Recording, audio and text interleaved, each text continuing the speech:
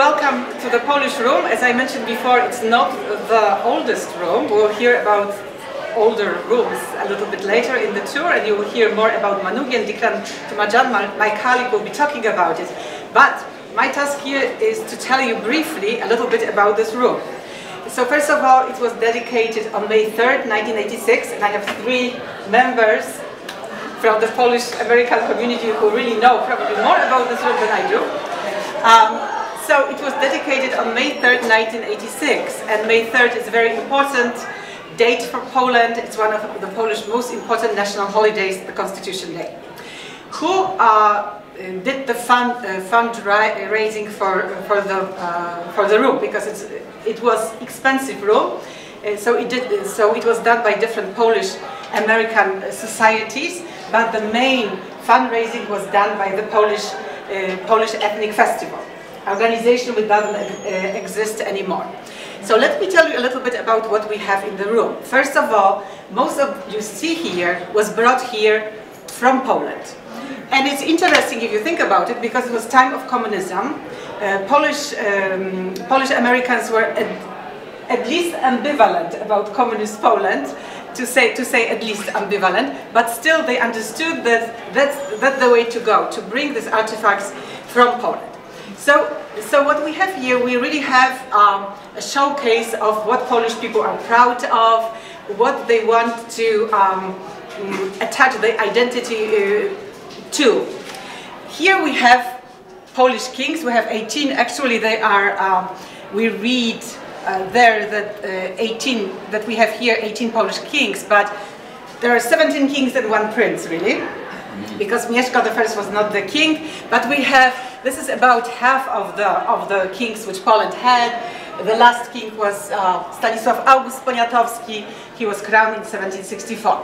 This mosaic is uh, made of marble and granite, and all of this was brought from Poland, was assembled here. So, so this is our north wall. If we look at the south wall, what we see on the south wall, we see a tribute to Nicolas Copernicus, the great Polish astronomer who was born in Toruń, and this represents uh, the solar system, and there's Copernicus on the right. If we maybe we can move towards uh, towards that wall, and wh while we are moving, we can pay attention to the ceiling, because ceiling here is a very it's very interesting. Ceiling is wooden. And It is patterned on similar ceilings which come from the, the time of Renaissance and you have a few of them in the Wawel Castle. Now, of course, this what this ceiling represents, you can see a few paintings, portraits. One of them is Jan, Jan Sobieski, generals. We have Polish eagle.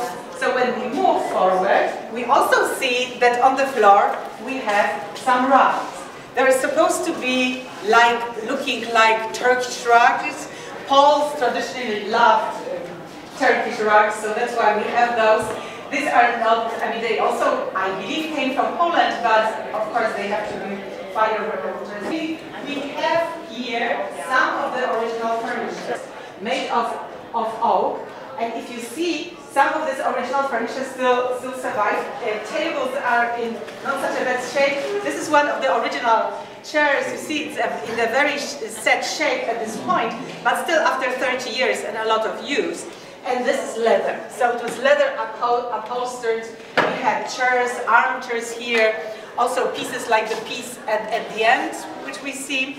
On the left, if you look at the left, um, we see in this little niche, we see three tapestries, and they represent Polish devotion and importance of religion in Poland.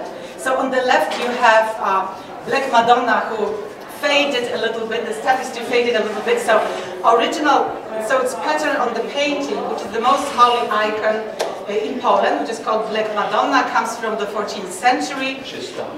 Mad Częstochowa, yes, Madonna of Częstochowa, exactly.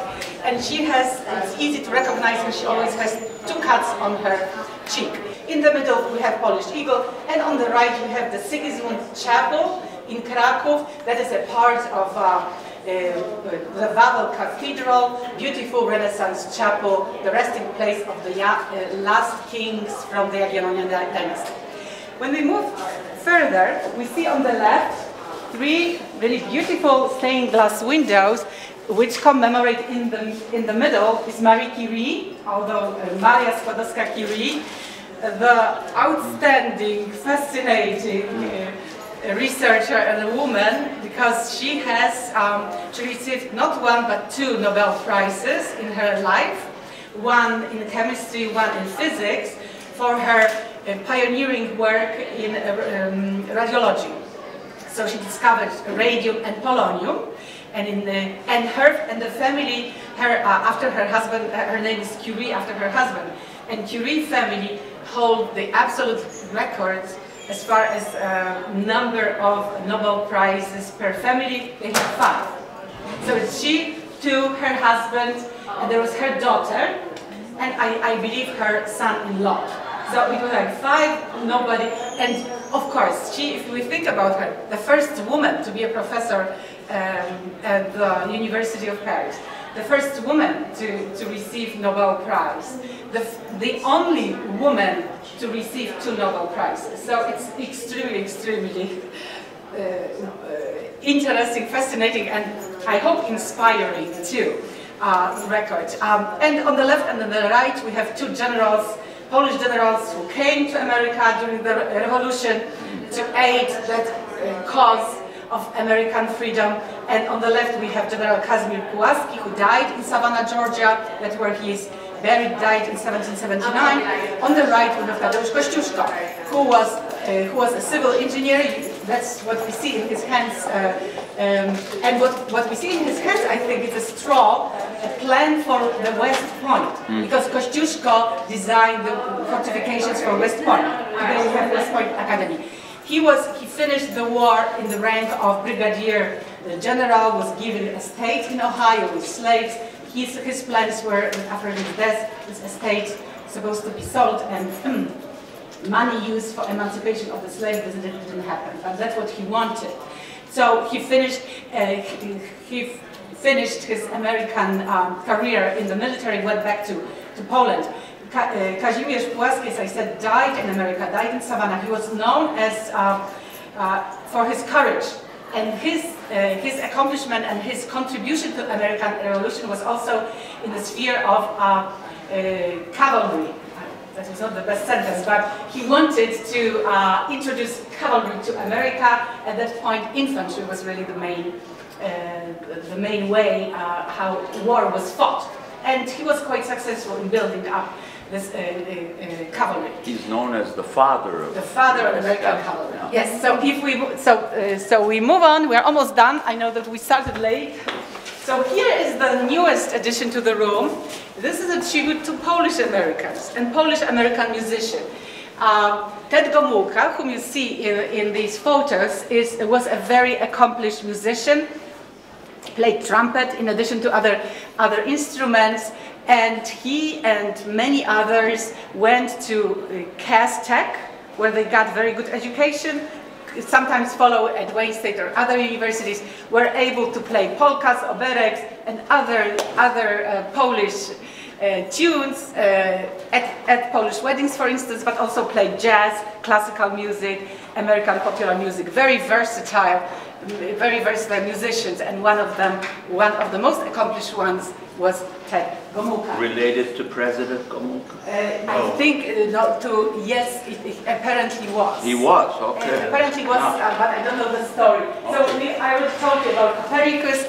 Outside of the room, I will because we need to finish. We have to move to next room. I just, I just will tell you that outside of the room you will see etchings which represent uh, geography of Poland, the beauty of Poland, some, some Polish dances, so you can see them there, and also crest, crest which shows this crest of Poland and Lithuania, because for few centuries in Polish history, Poland and Lithuania were one sort of political organism.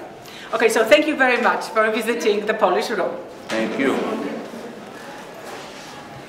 Two years after this video recording was made, the Polish Room acquired yet another work of art a beautiful bust of Marie Curie created by a local artist Evelyn Bachorski Bowman. The sculpture, a gift from Linda and Stephen Płochocki, was installed in the room on August 28, 2018.